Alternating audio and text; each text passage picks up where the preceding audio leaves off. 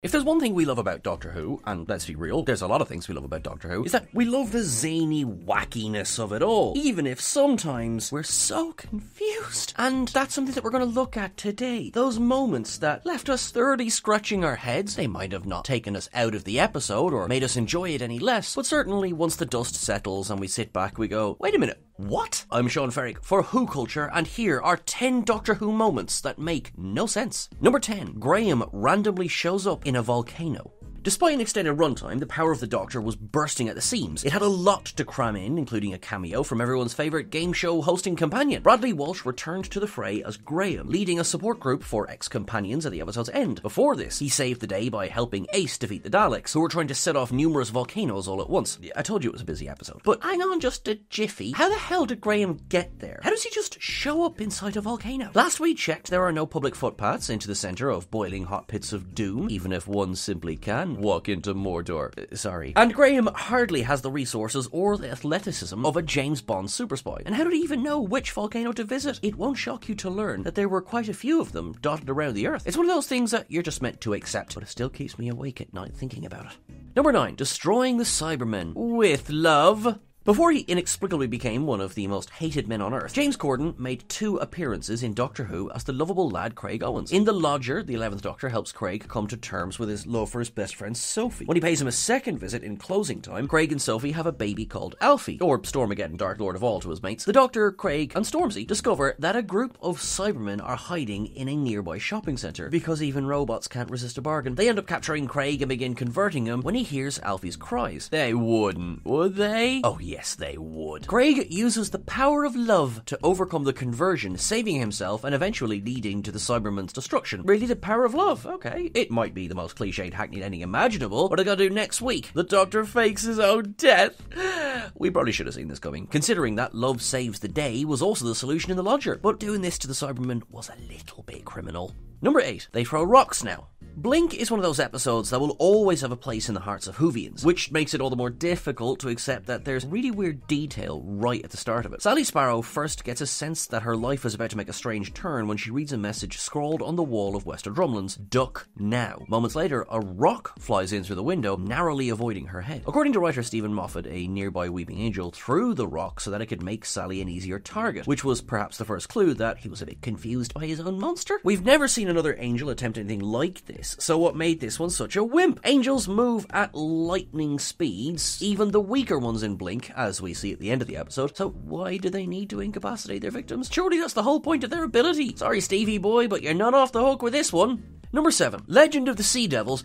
Just generally. Ah, legend of the Sea Devils. What a beautiful, beautiful mess. Jodie Whittaker's second to last outing as the Doctor is not only the least watched New Who episode ever, but it was also roundly smashed by fans and critics. The production of the episode was extremely rushed, something even showrunner Chris Chibnall has admitted to, and oh boy, you can tell. At one point, the TARDIS, with the Doctor and Yaz on board, gets eaten by a giant sea monster. A few minutes pass, and we spend some time with Pirate Dan, and when we cut back to the Doctor and Yaz, they're somehow inside the sea Sea Devil's base. What? It's not clear where they are or how they got there. Is the Sea Devil base inside the monster? Or has it transported them somewhere else? And where's the monster now? There are so many small disconnects like this one throughout the episode, and it makes the whole thing rather confusing and a bit frustrating, really, to watch. Number 6. Captain Jack goes hand hunting. In David Tennant's first proper outing as the 10th Doctor, he engages in a sword fight with the Sycorax leader, which cost him one of his hands. Thankfully, he's able to grow a new fighting hand in its place, which is rather good at throwing satsumas. The severed limb would serve as a critical plot point later down the line, as Ten is able to use it to stave off regeneration, leading to the creation of the Meta Crisis Doctor. Before that, however, he's reunited with his lost appendage thanks to Captain Jack Harkness, who gives it to him in the season 3 finale. Question is, how the hell did Jack get it? Sure, Jack works for Torchwood and can use some whizzy wazzy super duper doctor detector, but he still would have needed to track it down very quickly after it was lost in order to preserve it so well. The bigger sticking point is the fact that the hand fell over London uh, directly into the EastEnders title sequence by the looks of it, while Jack is based in Cardiff, a good 150 miles away.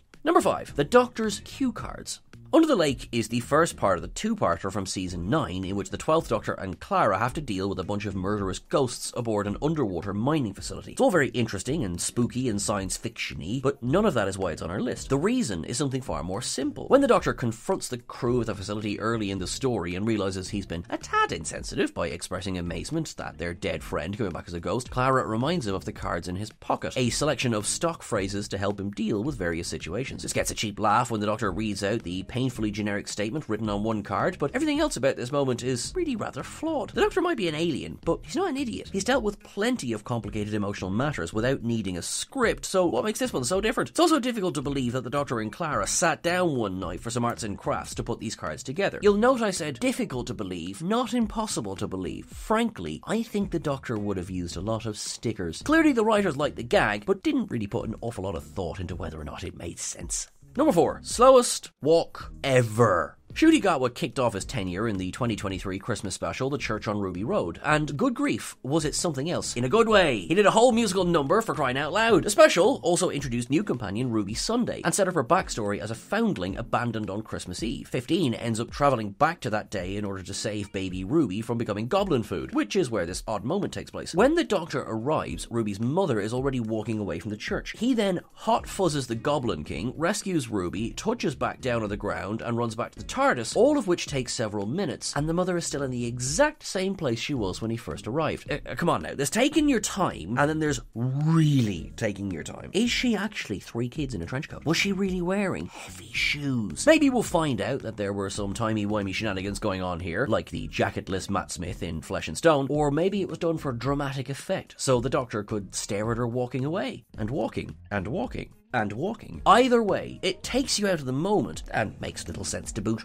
Number three, why do the Daleks have a spin button? At the end of the season 4 finale, just when everything looks bleak for the 10th Doctor and his army of friends, human weapons, Donna Noble ascends. The power of the Dr. Donna kicks in, giving her genius intellect and allowing her to set in motion the destruction of the Dalek fleet. She disables their weapons, disarms the reality bomb, sorry, the reality bomb, and makes them do donuts. Okay then. Donna twists a little button on the control desk and makes all of the Daleks spin around, round, baby, right, round, spin.